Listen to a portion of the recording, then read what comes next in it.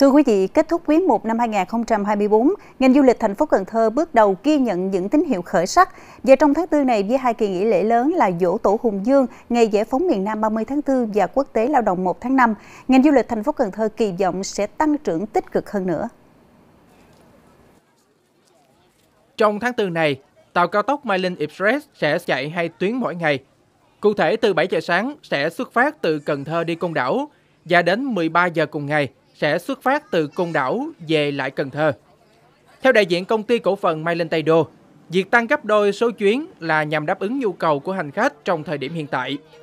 Đơn vị cũng đặc biệt dành giá vé ưu đãi cho hành khách là cựu chiến binh, cựu quân nhân.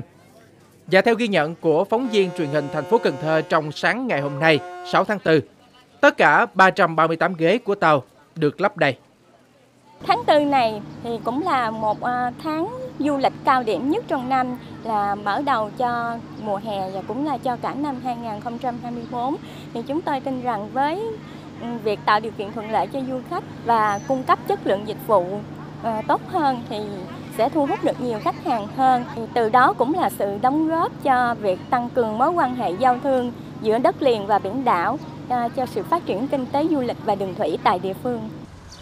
Cùng với các hoạt động tham quan vui chơi giải trí, lĩnh vực lưu trú trên địa bàn thành phố Cần Thơ cũng đạt một số tín hiệu khả quan.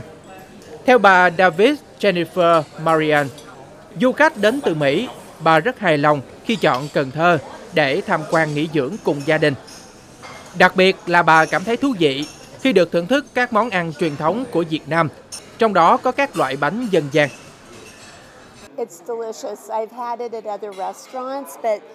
Tôi đã ăn món này ở nơi khác, nhưng những món ăn được phục vụ tại nhà hàng này đặc biệt rất ngon. Chúng tôi đã tận hưởng mọi thứ ở đây. Chồng tôi đã thưởng thức các món ăn vào mỗi buổi sáng và chúng tôi đã thưởng thức ở đây 5 hoặc 6 ngày. Các món ăn đều tuyệt vời.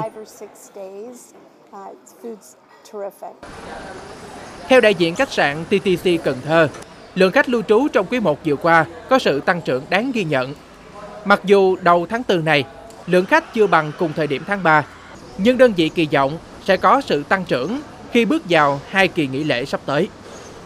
Hy vọng là cái à, tình hình khách có khả khả quan hơn. Khách sạn cũng có nhiều chương trình khuyến mãi để à, kích cầu.